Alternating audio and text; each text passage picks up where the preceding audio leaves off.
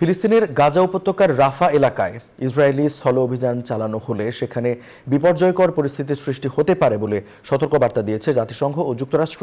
এর মধ্যে গাজায় প্রাণহানির সংখ্যা প্রায় আটাশ হাজারে দাঁড়িয়েছে। এদিকে গাজা যুদ্ধের মধ্যেই সিরিয়ায় কয়েকটি ইসরায়েলি মিসাইল ভূপাতিত করার দাবি করেছে সিরীয় সেনাবাহিনী।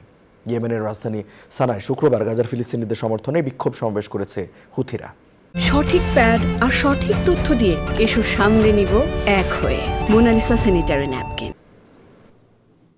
ফিলিস্তিনের গাজা উপত্যকায় কোনোভাবেই থামছে না ইসরায়েলি বাহিনীর বর্বর হামলা। গাজার দক্ষিণাঞ্চলীয় রাফাহ নগরীতে সামরিক অভিযান চালানোর আগে সেখান থেকে বেসামরিকদের সরিয়ে নিতে নিজের সেনাবাহিনীকে নির্দেশ দিয়েছেন ইসরায়েলের প্রধানমন্ত্রী বেনিয়ামিন নেতানিয়াহু।